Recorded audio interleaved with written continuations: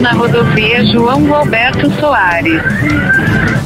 Poderia me mandar no código. Em 600 metros vire à esquerda na servidão Luiz Paulo da Silva.